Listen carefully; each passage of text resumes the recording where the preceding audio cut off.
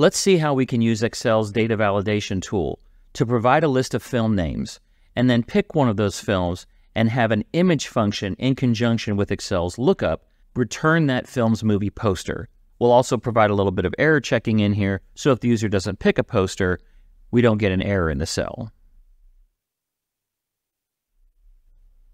Let's start with a table named Films. Now this table has a list of the film names that the user will be picking from.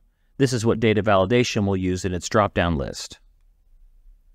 The next thing we'll need is a list of image URLs. Excel's image function unfortunately cannot point to locally stored image files, so you can't just point to an image on your C drive. The images have to be uploaded to some accessible location, like a website, an FTP site, or a SharePoint site. So let's write a little test formula just so we can see what the structure and syntax is for the image function. We'll start with equals image. The first argument is the source.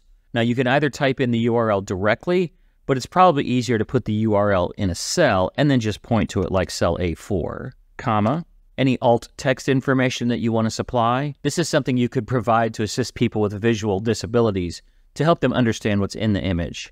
We'll skip that for now. The sizing, you can have the image fit to the cell, but not lose its aspect ratio, or you could fill the cell completely so the image takes on the size and dimension of the cell. Or you could use its original size or a custom size, where you define the height and the width.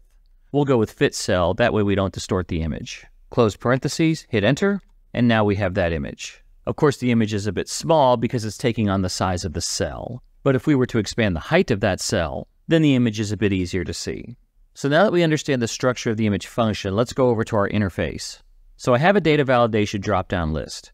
And this is a list of all of the friendly names of the movies. You wouldn't want to give the user the list of the actual URLs because they wouldn't understand what they mean. So if I go up to data, and then data validation, we can see that we're pulling the list from cells B2 through B51 of that other sheet.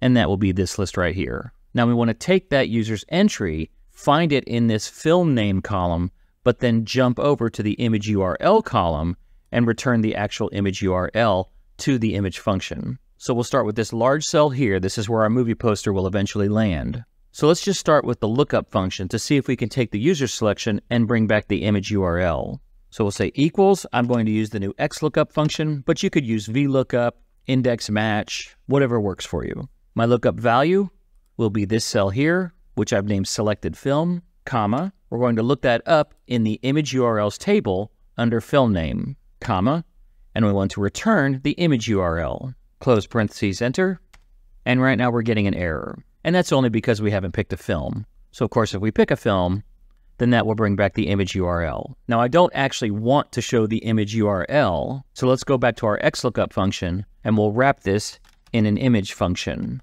So the source will be whatever URL was returned by the XLOOKUP. We'll not be using any alt text, and we want our sizing to fit the cell. Close parentheses, enter, and now we have a movie poster. If we test it, we'll go back, pick a different movie poster, and everything seems to be working.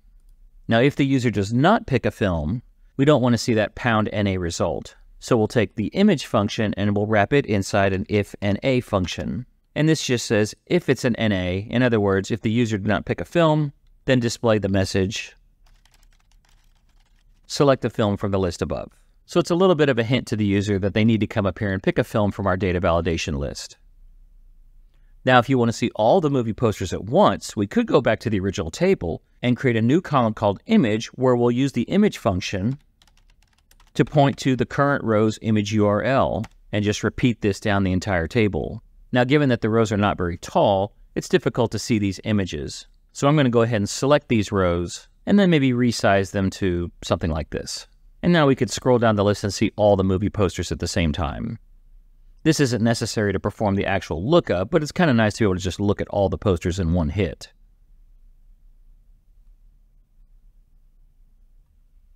So here's our function broken down and color-coded. The XLOOKUP performs the actual conversion of the user selection into a URL. This is fed to the image function, who goes out and extracts the image from that URL and displays it in the list. The whole thing is wrapped inside of an if NA. Just in case the user doesn't pick a film, we can display a nice hint to tell them to go do so.